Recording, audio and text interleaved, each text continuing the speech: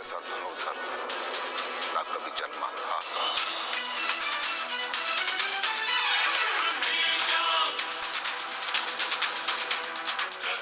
ना जन्मा है और ना ही कभी